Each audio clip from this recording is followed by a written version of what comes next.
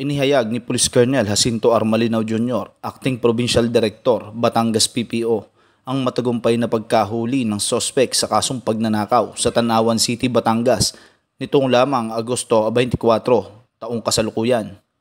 Ang sospek ay kinilalang si alias Brian, 41 taong gulang, may asawa at isang tricycle driver na naninirahan sa Tanawan City, Batangas. Ang sospek ay nahuli matapos magnakaw ng cellphone sa isang biktima na si alias Rosalinda, 54 na taong gulang, may asawa at walang trabaho na nakatira sa Santo Tomas City, Batangas. Naganap ang insidente sa A. Mabini Avenue, Barangay Poblacion 4, Tanawan City, Batangas. Habang naiwan ng biktima ang kanyang cellphone sa kanyang e-bike, sinamantala ng sospek ang pagkakataon na ito na nakawin. Sa kabutihang palad, napansin ni Rosalinda ang sospek na nagtangkang tumakas, dala ang kanyang cellphone at agad itong hinabol.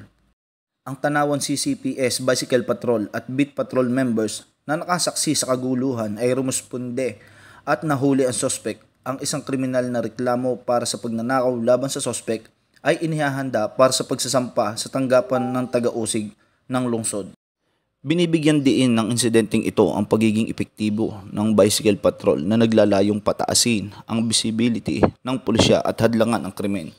Ang paggamit ng mga bisikleta ay nagpapakita rin ng pangako ng PNP sa pangangalaga sa kapaligiran sa pamamagitan ng pagpapaliit ng populasyon sa pamamagitan ng pagbawas ng mga sasakyang demotor habang nagpapatrolya.